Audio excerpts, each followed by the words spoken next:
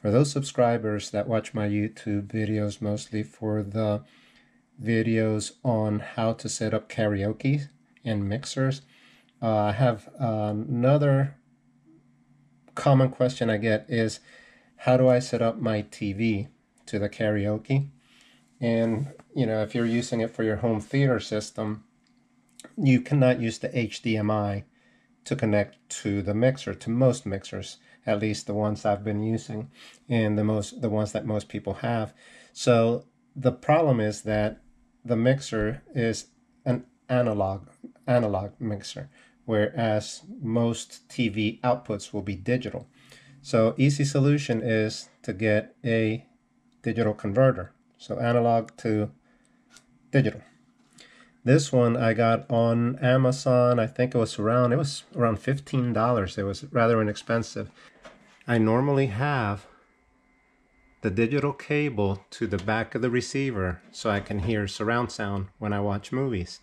So in this case I unplugged it from the receiver's input and I'm going to plug it into the adapter's input here. Okay.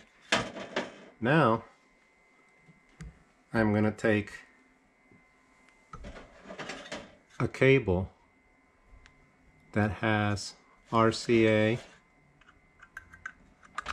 connectors, plug them to the output. On the other end of my cables, I have quarter inch connectors that are going to go to one of the channels on the mixer. I'm going to go ahead and plug in the power to the adapter and that's plugged in to a wall outlet. You can see the light comes on. And now I'm going to go ahead and plug in those that cable coming from the adapter into channel 5. Doesn't matter which channel. So this is going Here's the TV. Here's the adapter, the digital from the TV, cable out to the mixer. Now I can play YouTube videos, karaoke on YouTube through my TV. It'll go into here. I control the volume here. Different TVs have different setups. In my TV, I can turn down the TV's speaker volumes and it'll still send that digital signal to the mixer. So I also have my microphone hooked up.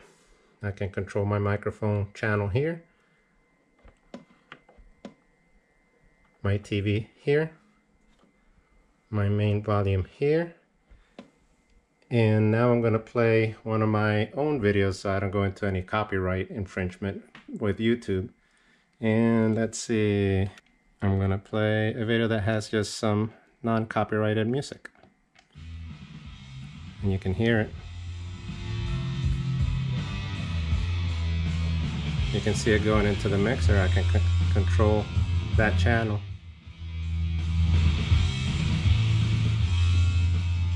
And if I talk into the microphone, testing, testing, testing, it comes part of the mix. So now I can talk and have the background or sing with my karaoke music.